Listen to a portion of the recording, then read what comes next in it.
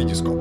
Подготовка для меня это такая где-то две недели идет. Это очень упорная физическая подготовка я делаю, то есть очень много разных разносторонних упражнений. Это физически это самое важное, может быть даже более чем технические какие-то упражнения на корте, поэтому я очень много времени уделяю физподготовке, и если я готова физически, то я думаю, что и результат тоже у меня намного лучше. Две недели подготовки перед каждым покрытием, чтобы укрепить мышцы и быть именно готовым к, к этому покрытию. А дальше уже я как бы лучше себя чувствую, более уверенно. Это для меня очень важно, чтобы у меня была уверенность в игре.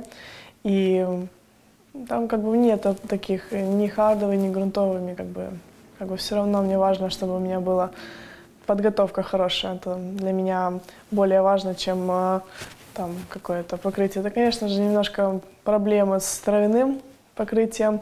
Я не так много турниров играю и не знаю, думаю, что надо лучше подготавливаться к этим турнирам, быть именно готовым э, и физически, и психологически.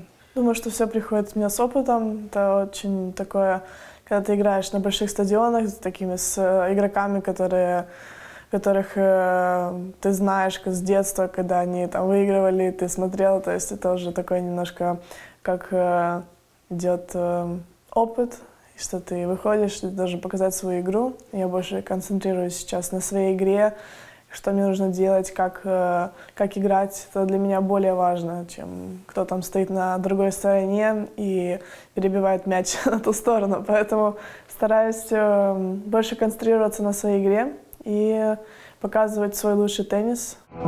Витископ. Спортивне відео.